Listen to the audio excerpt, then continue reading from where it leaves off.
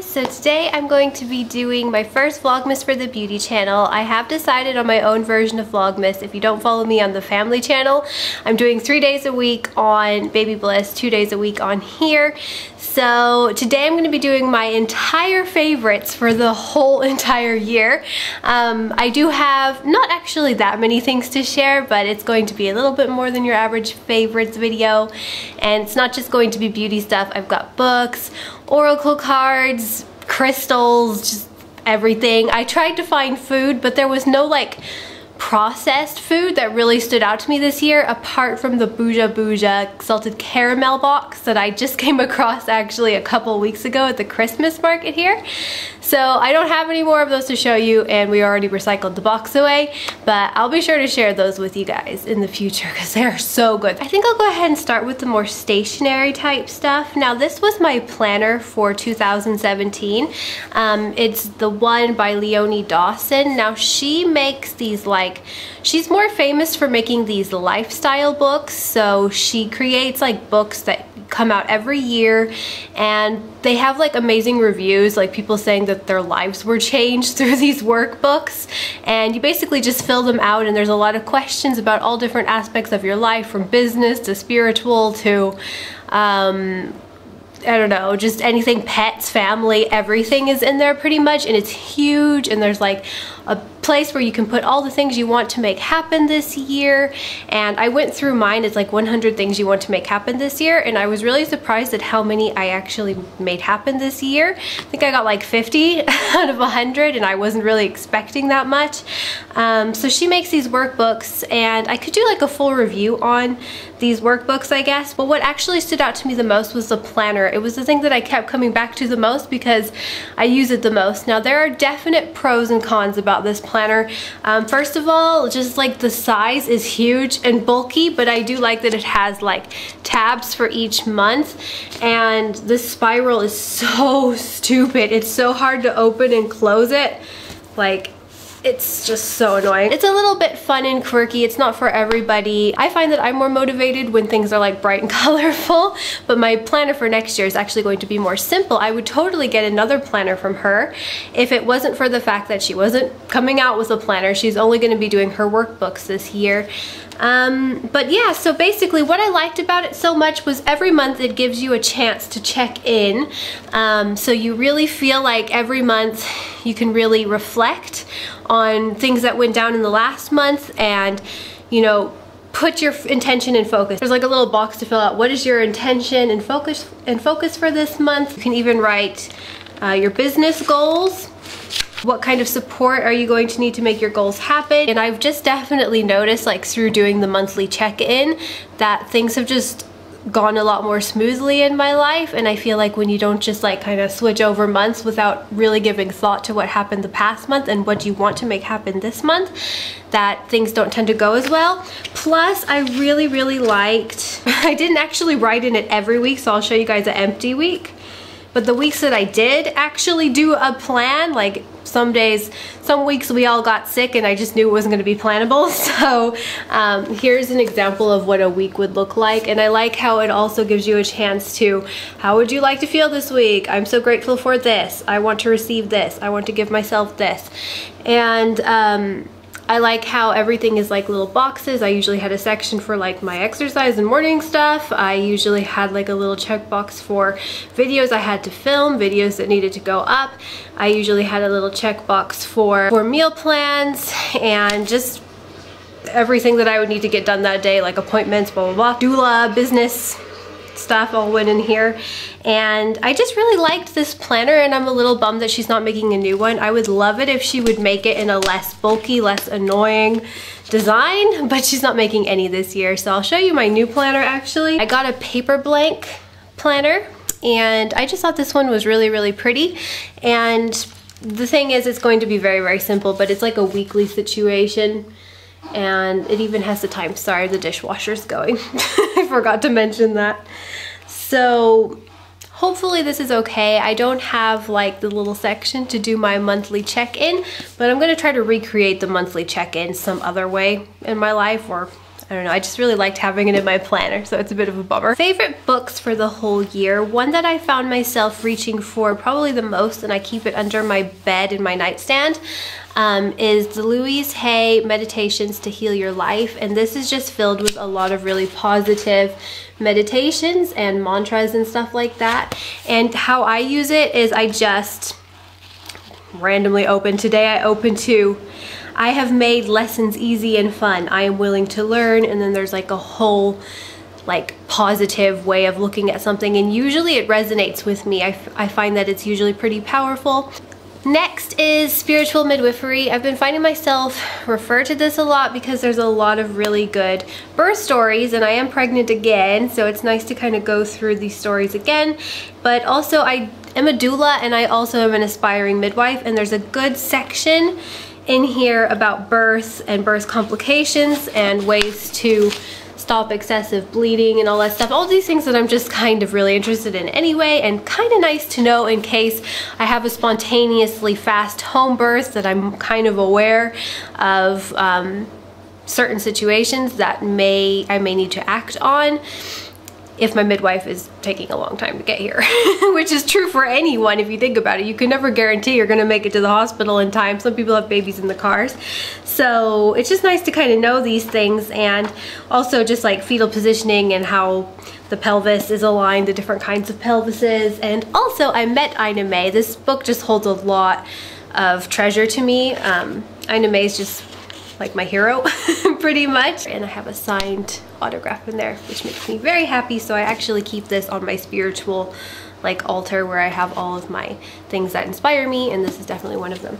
Okay, last two kind of stationary things is my diary. Now I know it's kind of a weird diary, it's kind of big, but I've actually really enjoyed having a big diary like this and it's hardcover and I like how it's pretty and shiny and flowery and all that stuff. It's just really positive. And the pages are really, really pretty as well. Let me show you. Show you a blank page. I don't want you guys reading my diary. Really pretty pages.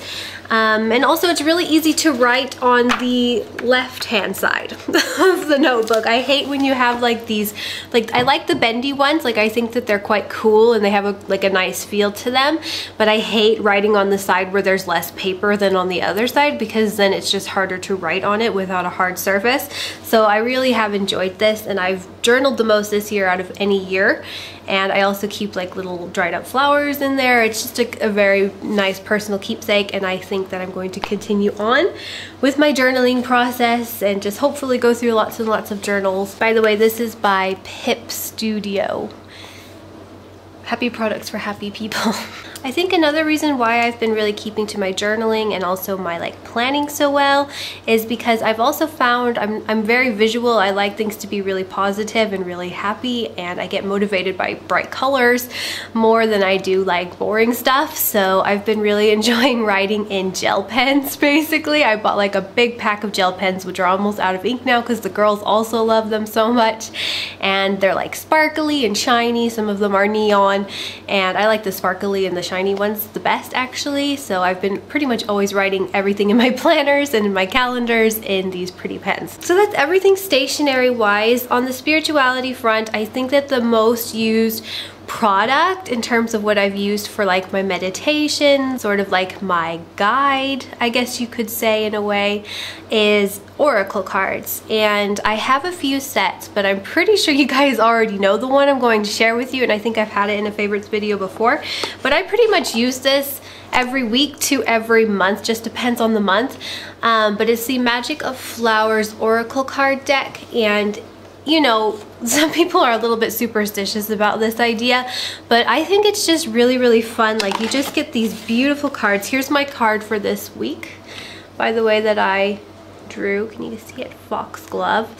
And they just have such beautiful things to say and it pretty much is always spot on. As a matter of fact, the one that I pulled like a day after I had the Ina May conference was an old lady, like this older looking wise woman. And it, it was talking a lot about winter and it was talking a lot about inner wisdom. It was talking a lot about meeting a spirit guide. It always resonates with me pretty much on the dot all the time.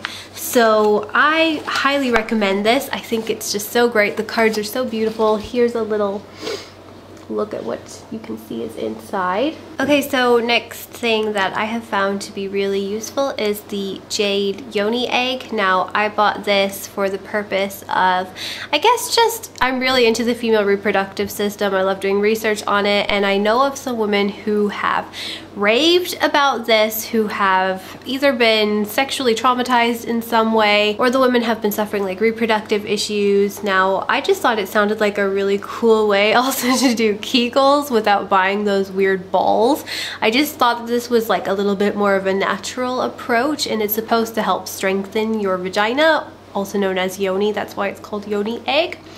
And you can leave it in for actually the course of the whole day and it's supposed to help tone the vagina because your vagina kind of has to keep it up. And I got this small size, like the smaller the size, the more difficult it is to keep in basically and I'm not using it pregnant but I did use it sometimes. I didn't use it every day and I didn't even use it every month but I did actually start a practice called yoni breathing a month before I conceived actually because I knew I was going to want to get pregnant soon and I just thought well, it's kind of nice probably to just really focus on clearing the energy in my womb space and just setting nice intentions for the area and I did end up getting pregnant really fast. I got pregnant really fast with Leah too and I didn't do anything like spiritual in order to prepare my womb space. Um, but this time I just thought why not? So like a month before I knew we were probably going to want to try to conceive. I decided let's just try the yoni breathing thing. So basically you put it in you go into a meditation state and then as you breathe in you do like a kegel exercise and then as you breathe out you release it slowly and I did this setting positive intentions and creative visualization with this egg for about a month before we started trying to conceive and then boom got pregnant. I would highly recommend it. I mean, if it's it's not gonna hurt anybody and I think positive thoughts and I think the power of the mind is vastly underestimated. Okay, finally on to beauty favorites. I'm just not all that much into beauty stuff anymore. But yeah, it's again just like a hair conditioner because you guys know how I love hair conditioners. All-time favorite of this year, John Masters is the winner. John Masters Organics. My favorite is the Citrus Neroli Detangler. Super expensive, but super duper worth it if you like keeping long hair. These next couple of products might be a little bit unfair because I've only had them for a week, but I'm already so in love with them. I just have to share and I have a feeling that they're just going to carry me off into 2018 on a good way. So this is um, the iSun Lavender Sage Cleanser. And it's just a facial cleanser and I have been getting a lot more hormonal acne than any of my other pregnancies, I would say and it's been really bugging me. As a matter of fact, I had a cystic pimple that was going to start up like four days ago and usually when I get those like they will just last for an entire week to 10 days before they pop or do anything. I got the cleanser in the mail like a day afterwards and I used it and the next day the pimple had already like popped. So I was like, this stuff is amazing. So I've been using it probably just once a day. And then um, to moisturize, I've been using this on pretty much every area of my body, including my belly. It is the Sea Buckthorn All Over Lotion, restorative and nourishing. And it's by Living Libations. They're one of my favorite companies of all time, and I've been using it throughout the day on my belly as well as shea butter on my belly and I use it as a face moisturizer because it is starting to snow and get dry outside so I'm making sure to keep nice and moisturized and this has been really really nice for my skin right now. I hope you guys really enjoyed this video. That is all my favorites for the year of 2017. I will put a list of all the products in the description box so you guys can go look for them if you're interested and I wish you guys all a happy holiday season and I will see you guys on Thursday for a foodie video. Bye!